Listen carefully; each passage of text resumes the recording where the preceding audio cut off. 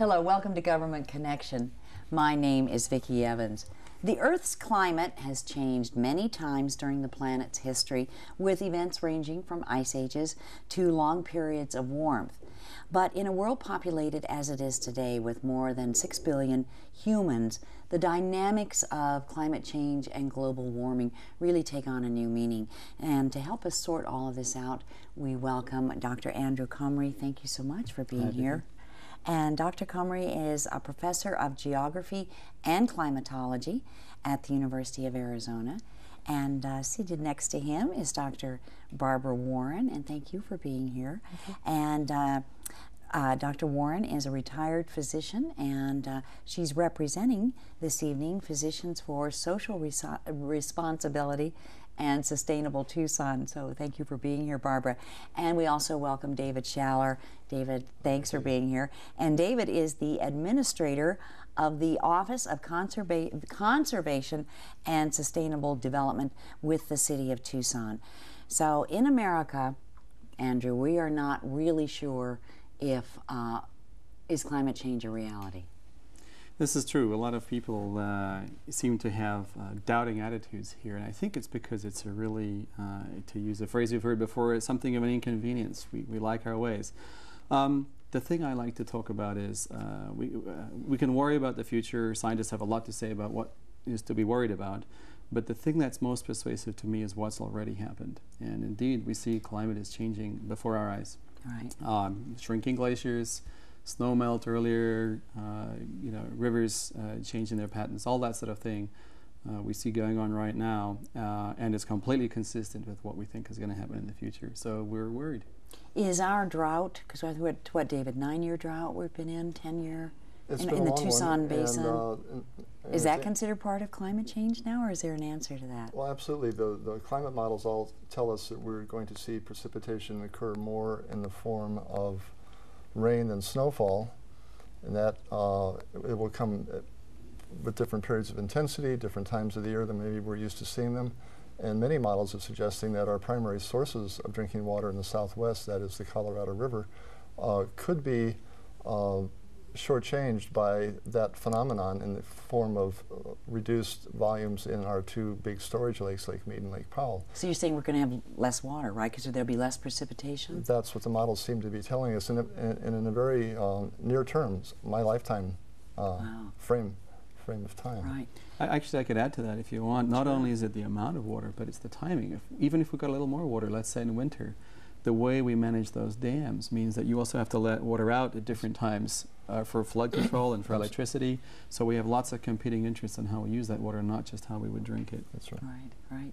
So what are some of the other, are there, we've talked about water, what are uh, other potential effects of climate change here in the Southwest? Sea level rise. Um, that's, I, I, spend a lot of time working with um, uh, Pacific Islanders over the years. And there are already populations moving off of small islands because they can no longer uh, live a traditional lifestyle on some of the flat coral atolls in the Pacific. Uh, saltwater intrusion from rising sea level makes it impossible to grow the food or to, or to uh, uh, store rainwater um, for very long. So they're simply relocating. They're moving to Australia. To so this is happening um, in small places, the most vulnerable places first. And um, Right, and in the Southwest, are, will, will, the will the rising, you know, I, since my knowledge of climatology, that's why you're here, is uh, all of you, uh, will those rising or, or dropping sea sea levels affect southwestern United States? Sea level, in particular for Arizona, less so, but other parts of the Southwest and certainly northern Mexico could have an effect. Mm. Uh, another example here for the Southwest would be, uh, for example, the forest fires we've seen recently uh, that are related in part to the drought, but also the, um, the bark beetle infestations that we see are driven also by environmental stress. And so what we can find is major changes on the landscape uh, that will dramatically change what the place looks like and how uh, the ecology around us will function. So there's more than enough opportunity for change. All right.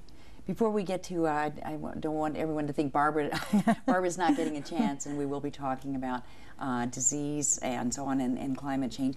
But I wanted to ask you, uh, I mentioned uh, in, when I was introducing you that uh, because of the six plus billion people that inhabit this planet, is this global warming, climate change that we're that we're experiencing now, a natural cycle. Can you tell us, Andrew? Uh, I, I, I don't know what 300 million cycle year cycle that happens, and then what effect have we had in either inducing this this change? So. Um, climate has always been changing. There's not one period in the record of the entire world when climate was ever constant. Most of that change until relatively recently was quote unquote natural, things like ice ages and El Nino and so on. Um, but over the last 100, 150 years, since we've been really pumping a lot of uh, greenhouse gases into the atmosphere, and particularly in the last 30 or 40 years, when we start to see those effects, uh, we have done enough to actually change the atmosphere, and it seems hard to understand. Uh, heard that that vastness of the atmosphere, uh, we could have an impact, but we really do. Everything we do every day pumps out uh, carbon dioxide from burning coal and oil and, and, and natural gas. Uh, and the effects of that have been a changed climate. And you just have to look around us, uh, around the world, to see that. a good example would be, I mentioned, you know, the earlier season for snow melt. So we get flooding in our rivers much earlier than we used to, letting some of that water go. Good example. So um, it is indeed a reality, and uh, humans are absolutely a part of the issue. That is why we're so concerned. Can we, uh, you know, David, or David mentioned, uh, you know, atolls and cor- you know, island people uh, in the mm-hmm. Pacific now not being able to, to live on their, it's, it's disappear, mm-hmm. their islands are disappearing. That's right. So, and they're moving elsewhere. What about great mass migrations to livable areas, Barbara, you know. Yeah, I think this really presents problems for us in a number of different arenas, politically certainly, economically, but also health problems. There are new health problems that are uh, being shared with us, if you will, from other other parts of the world that we've never seen before. These are happening not only because of climate refugees, but also changes in climate conditions that Andrew's done a lot of research on that uh, uh, lead to new um, diseases evolving in our communities that we haven't seen before. What can you give us an example? What, what are, what well, are medical experts seeing right we're now? We're seeing new uh, tropical diseases migrating this way, um, such as dengue fever, malaria, um, and other diseases that are now uh, threatening us in this area. We've seen some other new diseases here in our in our warm area, southwest they're, area. They're moving up through Mexico in this direction, and we expect to see those. We um, we're seeing heat-related injuries all over the world, and that's certainly a risk for us in this community. That's extremely serious. We had an event a couple, a few weeks ago in which we lost our power in a good part of the city, and we had no electricity for two days in the middle of the summer. And I'm not sure we're um, well organized to deal with these new um, challenges in our community. We know what to do with them medically, but I think we need to understand the public health implications and how we deal with these in our community in other ways. Um, and also uh, how to diagnose these things we've never seen before. But malaria and, and I can't say it, dengue, dengue, dengue. Yeah, thank you. uh, are familiar names, even though I can't pronounce it. We know that uh, we, we've heard of these diseases, but are, are there mut, muted, mutated, uh, mut, you know, bacteria mutations coming up? I mean, viruses that not are so much that as we we haven't had these in these in this community uh, in this part of the world. Um, so they're again from climate refugees or from changing climate conditions. Uh, many many factors that in, interactively work together to uh, cause new problems, new health problems to evolve. Right, and you know David talked uh, you know about in his you know changes are happening now in your lifetime. You'll see. Mm. What what other changes are we experiencing now? Um, can you give us some examples? Well, the two most important uh, sets of changes always are going to be ones related to water and precipitation, snow and, and, rain, of course, especially here in the desert. The other one is temperature. Uh, and then, based on those, all kinds of things go along with them and change. Um, you mentioned the Pacific Islands. If you uh, look at the uh, northern tier of the U.S. up in Alaska, melting permafrost is a huge concern. Uh, ironically, even for you know the pilings of the uh, the pipelines sinking. Um, so uh, there are whole communities relocating because what was built on ice is now turning into mush. Uh, for example, uh, Alaska and the polar regions are where we really see the most dramatic uh, changes of all. Northern Canada or northern Asia as well. Um, but almost anything that relies on uh, rainfall or, or, or temperature uh, in some way will have to adapt or deal with these changes, uh, which of course is a huge component of, of our environment, uh, as well as where we get uh, you know, essential things to survive. Right. And I, I like to look at it in terms of direct impact and indirect. You Mhm. ask about sea level being an issue here. We don't have a coastline here, but uh, neither did the people in Memphis uh, who had to take in Katrina refugees.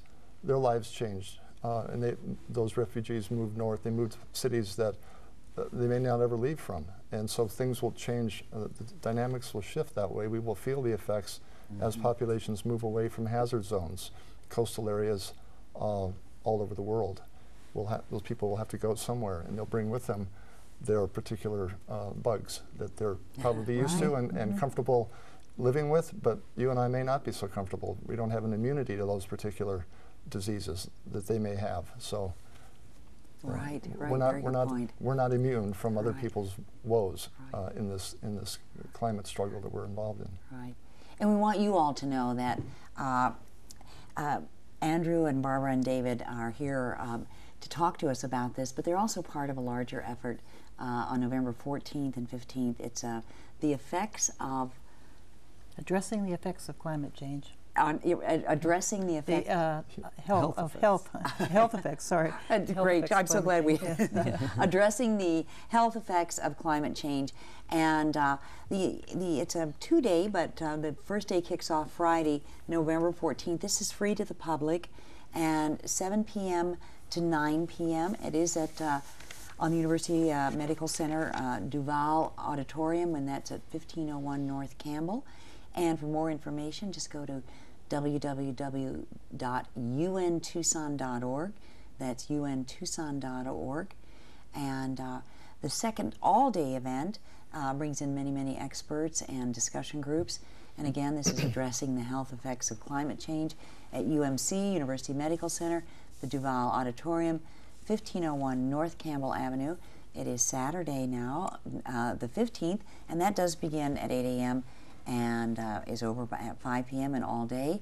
And for more information about registering for this, please go to Health and Climate Change eventbrite.com. That's health and climate change eventbrite.com. And uh, you'll be able to do some registration there. Am I missing something after change? Is Yeah, it there's health dot. and climate Says change dot. dot? Dot Eventbrite.com. So uh, watch it, and then I'll say it correctly here. Health and climate change dot eventbrite.com. Mm, That's right. Uh, a very, so if you have any questions or you want to know more, because we are, we'll have our own heads in the sand if we don't really recognize what's happening uh, with the world's climate and, and so on, right? They talk about, in the last year or two, six degrees. What happens when the temperature of the world, the overall average temperature, I guess, rises six degrees? So, talk to us a little about what's happening at. One, are we at one degree yet, and what happens? Yeah, we- so we can talk in, in Fahrenheit or in, in centigrade if you want. Um, the climate models, of which there's so much talk, uh, in this century, possibly even in the next few decades, predict something like two or three degrees C, which is roughly double that, something like four to six degrees Fahrenheit of warming. Doesn't sound like much. We do, you know, four degrees in an hour or two in Tucson. But for the world's average temperature, which is sort of like looking at the uh, Dow Jones for the stock market's average temperature, there's lots and lots of local change that can have huge swings in it. So there's a huge variety behind that, and the uh, the way to scale that is uh, the Earth's average temperature changes about six degrees C or something like um, 10 to 12 degrees Fahrenheit between an ice age and between right now. So if we then warm it an extra degree So or two for the last 10,000 years, we've only warmed up. Mm, 15 or 20 or so. We've, we've warmed up about six, uh, six-ish degrees C, uh, or something like 10 or 12 Fahrenheit. Uh, and we're going to do 20, 30, 40% of that in a century in the wrong direction, the warm direction. Um, so that's why we're worried about what seems like a small number, because in fact, for the Earth's temperature as a whole, it's a big deal. Right. And in Tucson, David, your Office of Conservation and Sustainable Mm-hmm. Development, uh, are you looking at ways to prepare or mitigate some of these problems? We are. Um, that is partly why the office was created to um, be the push behind the drive in the community to get this awareness built and then to start planning for both steps we can do to reduce greenhouse gases so that we don't make it any worse than it's going to be, um, this change that's coming. And secondly, to start an adaptation planning process so that as droughts become more frequent, as uh, temperatures rise, and we get into some of the, the, the heat effects, uh, health-related heat effects that Barbara mentioned, uh, we'll have a plan in place. Um, we, do a lot of planning now for emergencies, and they're generally short emergencies. Uh, one-time events, so we deal with it, and then we go back to life as we know it. Uh, we're talking about a very different kind of situation now than some people have termed a long emergency, and how to plan for that when we really quite don't know where we're going. Um, some people say that we're going in climate change from climate A to climate B, but we don't know what climate B looks like, and it may be from B and then to C and then to F. And we don't know because the climate is reorganizing and won't stay in any one place for very long because of these gases that we've managed to put up there that haven't yet kicked in. Right. I have to, greenhouse gases, if we are successful in the Tucson Valley and, and perhaps in the state of Arizona in uh, bringing those levels, to, you know, to mm -hmm. acceptable levels and, and, and trying to reverse, can we reverse it? Can we reverse the trend of global warming? And secondly, my thing is, what do we do about those about nations who aren't doing that? Is that going to blow our way? I mean, how does it affect? How does across the world affect my our efforts? You know, so help two questions. well, this is this is one of the great challenges uh, of uh, of the world right now, in that uh, this these gases do mix in the atmosphere, and so. Um, there is uh, potentially sort of a tragedy of the commons where if uh, only some people are looking after it, others will, will not. Uh, right now, frankly, we're as guilty as anybody else and not doing a whole lot. And if we can convince ourselves as, and, and sort of lead the world, uh, that will go a long way to having help people follow us. But there, make no mistake, it's very tough because we're trying to um, uh, detox here and get ourselves off this drug called fossil fuel, and it's a very, very, very tough thing to do. Is there a reversal? Can we reverse it? Uh, yeah, we, yes, we can. Change? In fact, um, but it's going to take some time because we're already there's already additional warming that we haven't yet experienced in the pipeline, so to speak, because of gases that are still have yet to do their, their chemistry to warm the planet. And so we will have to deal with that additional increase before we can start saying that we can reverse it. But it's going to take political will. It's going to take uh, everybody uh, acknowledging yes. that they have a stake in the solution to this, not just our generation, but every generation to come of every species, because everything's at stake here. Everything's in play. Right, right. And uh, before we go back and, and, and talk about maybe some ways that we can uh, begin to uh, uh, help the situation, we want you to remember that next week. We hope you turn in, tune in, because it's, uh, oh, in two weeks, that's right. We have a week off next week. So November 5th, 6 p.m., it's the Tucson Money Fair, a wonderful event uh, open to the public. Uh, for uh, anyone, but especially those who are struggling with um, uh, insecure finances, low income, there are tons of people there to help you. Uh, not only with, they'll be able to help you with income tax, but payday loans, and it's just a great event put on by a lot of concerned agencies in our area. So November 6th, tune in to Government Connection, 6 p.m., it's the Money Fair. And I want to get back to Barbara to get your take on um, how, how do you think uh, we can prepare for uh, these problems and, and perhaps mitigate against them? Well, I, th I think of this from both the perspective of the health professionals. I think that's very important to um, address because I think we as health professionals haven't educated ourselves enough about these issues. Climate change itself, let alone all the repercussions in the in the health field that we need to deal with. But I also um, think we all need to take responsibility not only as health professionals but all of us in our community, each one of us doing something, doing our part. Uh, as Andrew mentioned, it's a, I liked a quote I heard from him earlier, which is, how gutsy are you? we have to do a lot, and it's going to make ma major changes in our lives. It's true. And, and when and you see major changes, what do you see? Major changes in our lives. What we need to walk. We need to ride bicycles. We need to have renewable energy on our on our roofs. Every one of us. We need to be heating our water with the sun, not with gas or electricity. Uh, our electricity needs to be generated from the sun. We need to be driving cars that are electric um, if we are driving cars. We need to build our communities differently. We don't need to be building heat islands with pavement everywhere that increases the problem. We, we need to be thinking green and, and building green, not expanding out into suburbs on and on where we have to drive places all the time.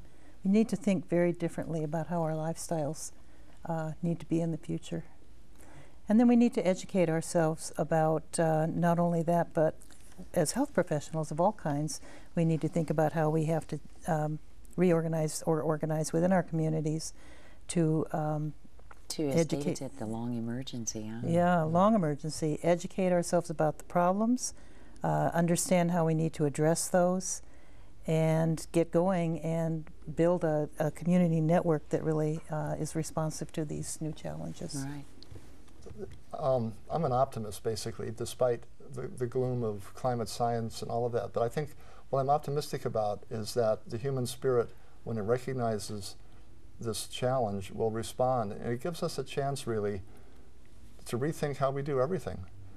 How we, how we build buildings, how we live, how we move, how we, how we power ourselves. And if we can start to uh, imagine what that new world looks like, uh, we've got a lot of people uh, that are willing to help create that new world. And so that's the opportunity here, I think, if we recognize that. And, uh, and, and, but we've got to start acting really fast because uh, we're reaching a point where the, the gases are going to get so high that we may not be able to, to turn around. You mean uh, the greenhouse gases that all of the fossil fuel and our right. lifestyle? People use terms like tipping points and reaching a point of no return and all of that, and that indicates a fear that we may get into some uh, really abrupt kinds of responses from the climate that um, we can't model and, and, we are very difficult to prepare for. And so we want to avoid that worst case, and mm -hmm. that mm-hmm. means taking action now. I'll point out one more thing. The city just recently completed, had completed for it a greenhouse gas inventory, and there shows a very slight reduction in residential energy use in the city of Tucson from 2005 until 2006. Now, I don't know what that's due to, but it shows that we're capable of reducing electricity demand, natural gas demand in our homes. And I think there's a, a, a menu of technologies out there and efficiency measures that we can employ uh, to, to drive that curve down. Mm -hmm. And so I, I'm, again, hopeful for that reason. So, and, and in your, from your point of view, Andrew, as a climatologist, what do you see? We, have already seen the polar, we're seeing the polar ice cap um, beginning to melt. Mm -hmm. uh, the islands that uh, you know David's describing in the South Pacific. Is there a next area as a climatologist that globally you can say, hey, maybe this is a place we need to keep an eye on? I think we really are seeing changes almost everywhere. Uh, unfortunately for us, the Southwest is one of the bullseyes. If we look at where we see uh, some of the climate change in the next 20, 30 years, Within the U.S., the Southwest is probably the one that is most likely to change. I think almost all of the climate models agree on this. Uh, and that's going to be uh, temperatures, even if we just ignore precip for a second. Uh, if it gets hotter, we all know the water evaporates right. faster. So we're going to be challenged even on that alone um, without complicating that with what might happen to a, a winter rainfall uh, or, or, a monsoon in summer, which we really are pretty clueless about right now. It's a complicated local system that is tough to forecast and understand. Um, and uh, so I think the level of uncertainty goes way up. And we know from you know recent economic times that we don't like uncertainty at all uh, you need some certainty to be able to plan, and uh, this really undermines a lot of efforts and, and makes it very difficult to deal with. Right. So I would say the Southwest, we should be maybe the most worried of all. Wow. So uh, on those words, we want you to, again, uh, the first thing we can do is educate ourselves, and a great place to start is the, uh, the forum, the, the conference on health effects, uh, addressing the health effects of climate change. First night, uh, Friday, November 14th, 7 to 9 p.m., free to the public, University Medical Center, uh, the Duval Auditorium, and that's at 1501 North Campbell. Uh, for more information, go to uh, untucson.org. That's untucson.org. And then the second day of the of the conference addressing the health effects of climate change, Saturday, November 14th, is all day, 8 a.m. to 5 p.m. And same location, UMC Duval Auditorium, 1501 North Campbell Ave, and uh, the uh, website for registration is healthandclimatechange.eventbrite.com. And uh, we don't have a ton of time left, but I know, Barbara, you want to talk about some sponsors and people that have really endorsed this, this forum. I'd just like to point out that the Friday night event is our speaker who's coming from the CDC, and uh, that will be his presentation, and then it'll be followed by a panel of, uh, experts from the community, and uh, some of them will be participating in the workshops the next day. The uh, Saturday event is all day long. Uh, it's several speakers, it's community responders, and um, in in the various health professions and and other uh, people who like David who have things to offer. Um, and then I I also want to point out that this is being endorsed and financially supported by a, a good number of people in this community, just to show you how important it is to our Right. community and how ma- many people feel it is. Uh, there's national organizations like PSR and Well, uh, council and our city councilman, I know is Nina Trasoff yeah, and Sustainable Tucson, a lot of Rodney different Glassman. groups, uh, three, three or four different uh, council people, the mayor. Um, we want to get uh, the, P- the the health department, Pima County Health Department, will be participating in the events on Saturday. Um, these, the endorsers have. Uh, you saw some quotes here from many of the endorsers, uh, talking about people from the Red Cross, people from various other um, parts of the community that are important to this, talking about why it's important to them.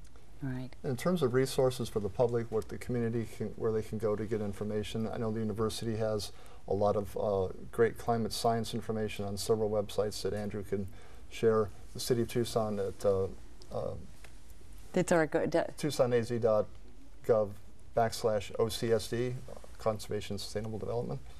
We have a new website that has a portal into the whole topic of climate change. You Oh, can wow. go in there and get information at the individual, community, regional, and national levels. All right. And on those words, we uh, I can't thank you enough, Andrew and Barbara and David. Uh, We've learned a lot, and there's a lot more for us to learn and a lot for us to do. Thank you all very much. Thank you very Yes. much. That did go fast. cool.